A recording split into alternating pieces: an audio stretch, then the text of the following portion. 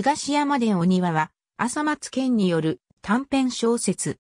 公文社文庫より発刊された、井上正彦が監修する、書き下ろしアンソロジー、異業コレクションシリーズの中の一冊、黒い遊園地に収録された。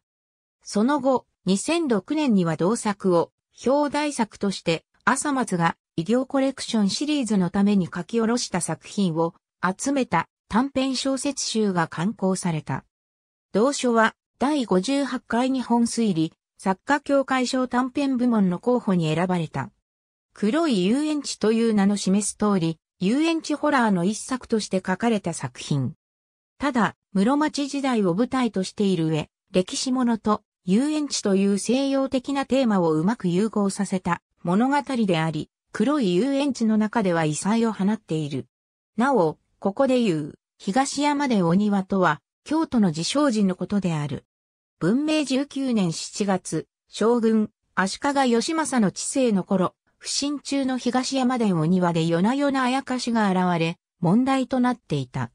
時の官僚、畠山正長は、一級総順に使いを出し、解決を図った。使いを出して間もなく、一級が東山殿お庭に現れ、問題解決に向かった。あやかしの正体とは、一体何なのか。2006年6月29日に刊行。異業コレクションシリーズに収録されている作品を集めたもの。すべて主役は一級である。ありがとうございます。